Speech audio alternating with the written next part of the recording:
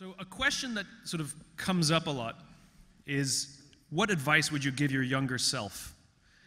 And if I would give that advice, I would, I would like to tell myself that you don't have to know all the answers and you don't have to pretend that you do. Because I spent many years thinking that I had to have all the answers, and if I didn't, I pretended that I did. And it wasn't until that valuable lesson that I learned later in life did it change the course of my life. And so I thought what I would do today is just share a few stories, a few things that I've learned along the way, some of them big ideas, some of them small, that have helped mold my perspective on the world, and hopefully it'll give you something to take away as you go on to your next challenge. The first one is all about perspective and going after the things that you want. In Central Park, the New York Roadrunners Association hosts uh, races on the weekends.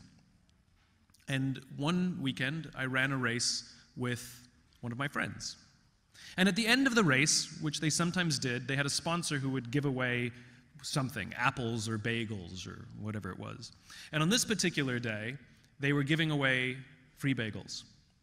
So we'd finished the race, and you sort of can imagine the scene. It was cafeteria tables lined up next to each other with boxes of bagels across the cafeteria tables, a line of volunteers on one side of the table, and a much longer line of runners hoping to get a free bagel.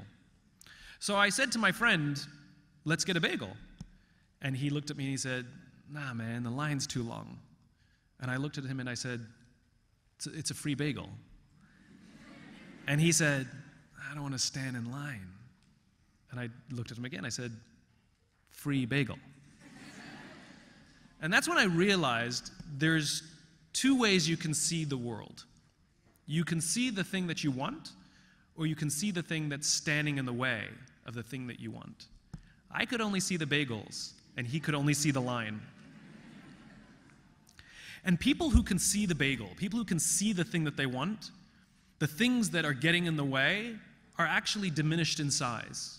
They're just obstacles to go over or around. It's an opportunity for invention or innovation.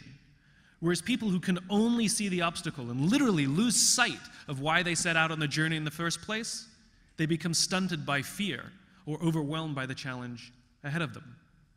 So, advice that I learned piece number one see the bagel.